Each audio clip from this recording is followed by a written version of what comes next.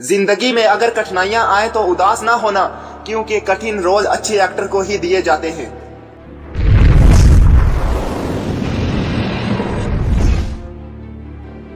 दोस्तों, एक समय ऐसा हुआ करता था जब टॉलीवुड फ़िल्में सिर्फ़ साउथ इंडिया में ही देखी जाती थी, लेकिन अब ज़बरदस्त फ़िल्मों के साथ साथ टैलेंटेड एक्टर की वजह से ये फ़िल्में अब भारत के हर कोने में देखी जाती हैं।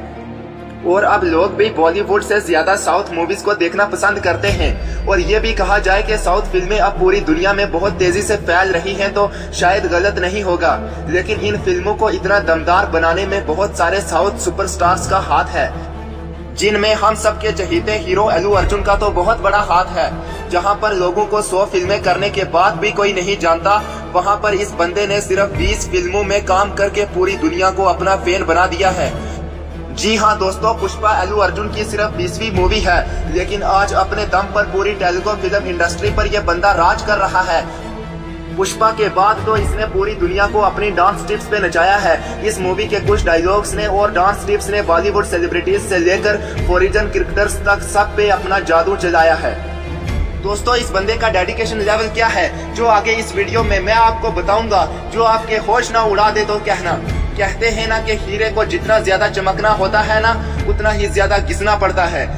एलू अर्जुन की लाइफ स्टोरी भी कुछ ऐसी ही है। उनकी फैमिली में उनके दादाजी ने एक हज़ार से ज़्यादा मूवीज़ की थी। उनके फादर भी एक प्रोड्यूसर हैं, जिन्होंने गजनी और मकदीरा जैसी मूवीज़ को प्रोड्यूस किया था। लेकिन एलू अर्जुन ने कभी भी इस चीज़ का फ़ायदा नहीं उठाया और हमेशा कुछ अलग करने का सोचा। दोस्तों एलू अर्जुन 8 अप्रैल उन्नीस सौ बयासी को मद्रास, तमिलनाडु में पैदा हुए।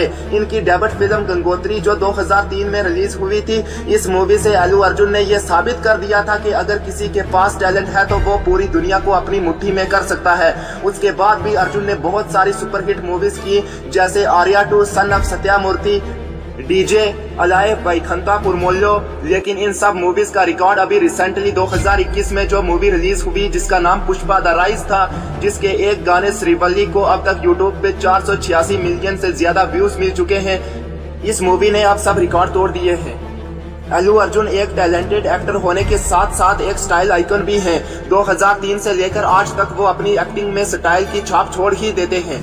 डांसर और एक्टर होने के साथ साथ अर्जुन एक फोटोग्राफर और पेंटर भी है, जो अपने फ्री टाइम में ये सब करते हैं।